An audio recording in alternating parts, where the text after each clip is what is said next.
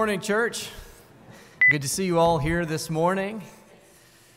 Blessings to our members and visitors. If you're visiting with us, then we want to invite you back any opportunity that you have. Uh, if you see one of those cards in front of you and you're a first time visitor, we would love it if you filled that out. And you can either give that to me in the back of the auditorium after services over, or you can put it in one of the black boxes there that you see at the back of the auditorium. That's just so we can get to know you and you can get to know us, and we can express our appreciation for you being here this morning with us here at Highland Heights. In our series entitled Satisfied Learning to be Content in Jesus, we've, we've been talking about the sweet satisfaction that is only found in a relationship with the Lord Jesus Christ. He gives all grace, bringing all satisfaction, equipping us for every good work. In Him, we find great gain. And when our hearts are growing in our capacity to be content in Him and Him alone, we're able to worship with greater fervor. We're able to serve with greater zeal. We're able to flee temptation to indulge in inferior pleasures and bring glory and honor to His name in a way that He truly deserves when we are satisfied in Him. This morning is going to be our final lesson in our series, and then we're going to move on to something else. We're going to be diving into Psalm 37. Psalm 37. So I greatly encourage you to take out your Bible uh, and turn there with me. Psalm 37. We're going to be looking specifically at verse 4. Verse 4. And we're going to feast together on the uh, satisfying spiritual truths that are embedded within. First of all, look with me in verse 1 of Psalm 37. Verse 1. The ESV renders it like this Fret not yourself because of evildoers, be not envious of wrongdoers. Now, the verb rendered fret here in Hebrew, it, it carries the idea, it carries a hint of anger to it. It's the kind of fretting or the kind of worrying that one experiences when they aren't exactly sure if they're going to receive justice or not, if they're going to receive what's fair. And, and maybe they believe that the wicked are going to go unpunished and triumph over them and get what they deserve. Many times we see this kind of fretting uh, within the Psalms and elsewhere in the Bible. Uh, the righteous are tempted to look upon those that are wicked, who prosper over them, uh, with a hint of anger and say, they don't deserve what they're getting. They don't deserve the good that's coming to them. I do. I deserve good. I deserve to prosper. And that's what the Bible refers to as envy. Notice with me what the psalmist in Psalm 73, verses 2 through 5 says. Psalm 73, verse 2 through 5. King Asaph says, But as for me, my feet had almost stumbled, my steps had nearly slipped, for I was envious of the arrogant when I saw the prosperity of the wicked, for they have no pangs until death. Their bodies are fat and sleek. They're not in trouble as others are, they're not stricken like the rest of mankind. Our human hearts are extremely sensitive to injustice. We are extremely sensitive to injustice, especially injustices that are directed toward us when we see or perceive that someone is taking something from us, using us in some way to their gain and our harm, prospering over us when we believe that we deserve better than what they have and what they're getting, we cry out, That's not fair. That's not fair. It's not fair that I didn't get picked to be on the ball team when all the other kids got picked. It's not fair that I've been working like a dog in my job for years and years and years. And they, they promote someone else outside of the company to a greater position than I have. It's not fair that my kids always seem to have problems, behavior problems, health problems, developmental problems, but other people's kids, they seem to be healthy. They seem to be fine. They seem to be growing. It's just not fair that everyone around me seems so happy and joyful all the time. But me, I'm wallowing in misery and despair and grief, it seems like, every waking moment. It's a natural human experience to long for what is fair, what is right, and what is good. And, and, and, and many times when, when, when we are on the receiving end of a seeming injustice, we look upon those who have slighted us or prospered over us and say in our hearts, they don't deserve that. They don't deserve the good that's coming to them. I do. I deserve to prosper in their place. That's envy. That's what the Bible calls envy a simmering kind of anger and resentment and bitterness directed towards someone who's prospering when we are collapsing, when we're declining, when we are failing. Envy is an expression of a dissatisfied heart. Envy is an expression of a dissatisfied heart. When envy creeps in because of the success of others, it's a sure indication that our hearts don't really believe that we have enough. It's a sure sign that we're dissatisfied with all of the abundance that God has given to us by His grace and by His mercy, and we believe that more is required to sustain. Envy is most likely something that every single one of us has been tempted with and has given in to at times, including the psalmist uh, we see within uh, the pages of the text. Uh, but notice with me what David continues to say in Psalm 37, verse 2. Psalm 37, verse 2. For they, the wicked, those that prosper, they will soon fade like the grass and wither like the green herb. Now, as we look at the scope of Psalm 37, the whole point, uh, the, the, whole, the, the whole point of Psalm 37 is, is to say, look, you don't have to be envious. You, you don't have to be envious of anyone. You don't have to be envious of, of the wicked that seemingly prosper over you because God is just and He will give to them what they deserve eventually.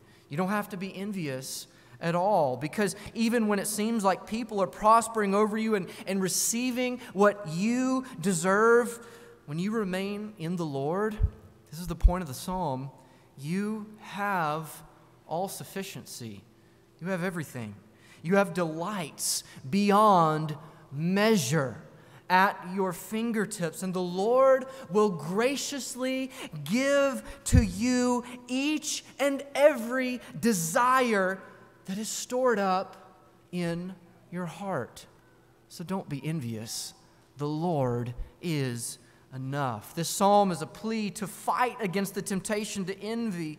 And one of the ways that we do that, there's a, there's a many different uh, aspects to this, to this psalm, ways we fight envy, how we counter that. Um, but one specific thing that I want to hone in on, and that's in verse 4. Uh, look with me there. Verse 4. How we wage war against this envious dissatisfaction that is encompassed in the natural human experience. Look with me in the first part of verse 4 of Psalm 37. First of all, the psalmist says, Delight yourself. He says, Delight yourself. Now, in the Hebrew, the verb rendered delight is in the Hithpael imperative. Uh, this signifies a command. The psalmist is saying, Don't fret, don't be envious because of evildoers, but instead, rather, pursue delight in another direction. To battle envy. He's saying, channel your delights, your pleasures, your joys, your hopes, your dreams, your longings toward a certain thing, toward a certain person, the psalmist says. Look, notice what he says in the rest of the first half of, the, of verse 4. Delight yourself, who? Delight yourself in the Lord. Delight yourself in the Lord. Several years ago, Oprah Winfrey was on The Late Show with Stephen Colbert, and Colbert asked Oprah what her favorite Bible verse was. And she actually quoted our psalm this morning, Psalm 37, verse 4, um, on The Late Show. And this is what she said. This is a direct quote. She said, Delight thyself in the Lord, and he will give you the desires of your heart. And she says, Here's what that says to me Lord has a wide range of meaning. What is Lord? She asks. Compassion, love, forgiveness, kindness. So, she says, you delight yourself in those virtues where the character of the Lord is revealed. She says, Delight yourself in compassion, love, goodness, forgiveness, kindness, etc., etc., and you will receive the desires of your heart. She defines Lord as a vague and abstract virtues or qualities which, which are completely detached from a person, completely detached from a personal living being. And that gives her the justification to legitimize all world religions that emphasize these pleasant attributes and qualities. And so many people in the world today, even sometimes us Christians, do the same thing. Define the Lord this way. However, this psalm is, is not a plea to delight in abstract, vague attributes, vague qualities, but rather in a person in a personal living being who possesses certain attributes, who possesses certain character traits and qualities compassion, love, goodness, forgiveness, kindness, etc., etc. I want to read several passages that reveal this person to us. Isaiah 53 11, out of the anguish of his soul, he shall see and be satisfied. By his knowledge shall the righteous one, my servant, Make many to be accounted righteous, and he and he shall bear their iniquities. Psalm 61:10 I will greatly rejoice in the Lord.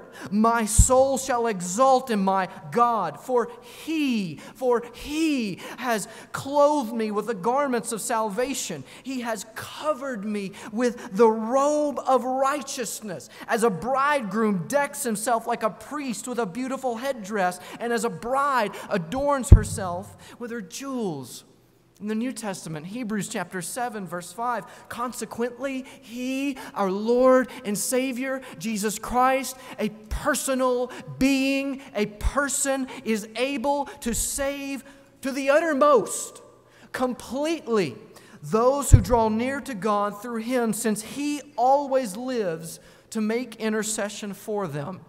And then finally, in Revelation chapter 1, verse 17 through 18, when I saw Him, I fell at my feet as though dead.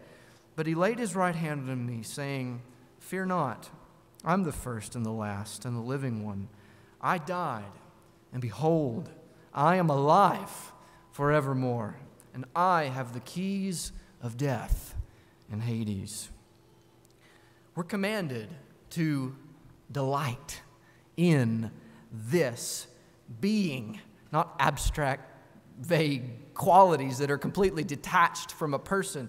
This person, this God, who out of the anguish of his soul has made many to be accounted righteous, who has clothed us with the garments of salvation, making us beautiful and pure like a bride or a bridegroom on the wedding day.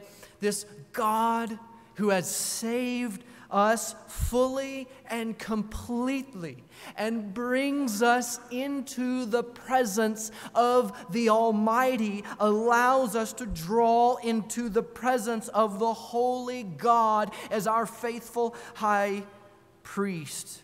This God who has the power and the right to take my life and cast it away from him. But instead, he lays his hand gently on my shoulders and he says, Fear not, I have defeated death for you, so that you have no reason to fear or be afraid anymore. As we continue to see this God, this person, this personal living being, and experience this God through His Word, we shouldn't have any problem with delighting in Him. Notice what the psalmist says in Psalm 36, verses 7 through 8. How precious is your steadfast love, O God. The children of mankind take refuge in the shadow of your wings. They feast on the abundance of your house, and you give them drink from the river of your delights. As I think about what brings me delight, I think about my family. I experience delight when I'm with them to a far greater degree than I experience delight when I'm indulging in material things or um, things of this world. That, and that, that's, how, that's how human beings were created. We find superior delights in people, in those who possess a mind, emotions, and a will, those that we can share affections with and draw closer to over time. And, and, and oh, how, how blessed we are to be under command, to pursue delight in the one who gives superior delight, in the one who invites us to take refuge in the shadow of his wings, the one who invites us to feast on the abundance of his house, and the one who offers us to drink from the river of his delights. However, so many Christians uh, today, um, that I've seen at least, uh, they don't obey this command to delight in God because they aren't even sure if this God is for them. They aren't even sure if this God has their best interest at heart, their best interest in mind. I've heard Christians say things like in their, in their thoughts, He's against me. He's against me. Everything that I do, he's, he's always disappointed in me. He's never going to accept me. Brothers and sisters, trying to muster up delight in a God like that is going to be impossible.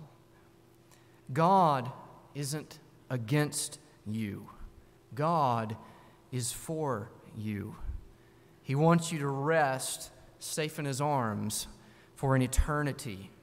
And if you have trouble believing that, if that belief, if you believe it intellectually, but it doesn't grasp hold of your heart, which is so oftentimes happens, then fixate your heart, your eyes, your mind, every part of you on the cross of Jesus Christ every single day.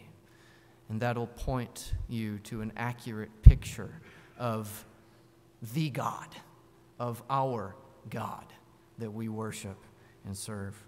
Now, going back to the psalm, this is how we wage war against envious dissatisfaction. We take focus off of what has been taken from us from the prosperity of others around us, from the injustice that we have received due to living in the world, a world filled with sin and strife, and we drink every single day from the well of delights that are found in the Lord, that are found in this person, this being, this blessed Savior, this precious Redeemer. And when we do this, when we delight ourselves in the Lord, each and every desire that we have stored up in our hearts, He will graciously pour out upon us at our feet. Notice with me what the psalmist says lastly in the, uh, in the second half of the psalm, Psalm 30. I'm going to read the whole thing. Psalm 37, verse 4. Delight yourself in the Lord, and what will happen? What will He do? And He will give you the desires of your heart. Now, does this text mean that if you delight yourself in the Lord, then He's going to give you a brand new bass boat? Uh, if, you, if, you, delight yourself in the Lord, that He's going to give you a brand new car or a new girlfriend or whatever that you really want in, in, in the moment that fits your personal, carnal, whatever desires. Uh, no, that's not what uh, the psalmist is getting at here. Rather, the text implies that as we delight ourselves in this God, this person, this being, our desires over time will begin to parallel His will. They will be molded and shaped into what He desires. As I delight myself in this God, then what my heart wants more than anything will become what His heart wants more than anything. As I delight myself in this God, in this being. Notice what Jesus says in John 15, verse 7. If you abide in me and my words abide in you, ask whatever, whatever you wish, and it will be done for you. As I, as I abide in this God and delight in this God, His glory, it becomes precious to me. And my life. And, and, and His glory becomes a delight to, to magnify in all areas of, of, of my life. As I delight in this God, those that He loves, those, those that He has affections for, become objects of my own love and affections. As I delight in this God, the advancement of His kingdom becomes my heart's pursuit. As I delight in this God, I become more capable to turn away from temptation, from to reject inferior pleasures and delights. As I delight in this God, unity amongst believers becomes an overarching goal to maintain even when those aren't too loving to me. And what does the text say? He will freely give us those desires as we delight in Him. I hope everyone in this room can see uh, how beautiful this psalm is. Uh, when we're tempted to envy another, another person, and live in dissatisfaction, God graciously commands us to redirect our focus from our seeming lack of sufficiency and the seeming prosperity of others, what they have, and commands us to seek delight in Him, which will transform what we really want in life into every desire of His heart. And He will freely and graciously give you each and every single desire so that you are fulfilled and cared for each and every day. The more that I see this Jesus, the more that I understand him and grow in knowledge of him, this beautiful and precious Savior, this God, the less I desire pleasures of this world, the less I desire what other people have, and the more I desire Him. Because only true and lasting satisfaction may be found through Him. This morning, if you have any need, if you wish prayers from the church, if you're hurting in some way and we can, um, we can be of, of support to you, if we can bear your burdens, uh, or if, if, if you don't know the Lord Jesus Christ um, and you believe that He is the Son of God, you repent of your sins, of everything that you've ever done, um, or do, make a decision to do a 180 right now.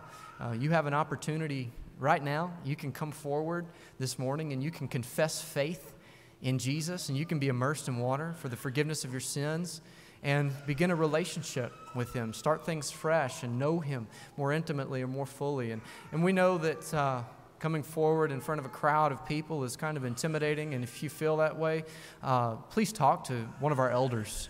Um, talk to you can talk to talk to me, um, uh, and uh, in any way that we can serve you, um, please let it be known. Come forward uh, this morning if you have need as we stand and as we sing.